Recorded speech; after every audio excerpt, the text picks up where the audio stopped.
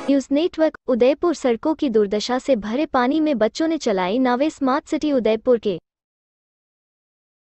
सेवाश्रम चौराह व कुम्हारों के भाट्टे पर सड़कों की दुर्दशा से सड़कों में भरा पानी, बच्चों ने चलाई नावे।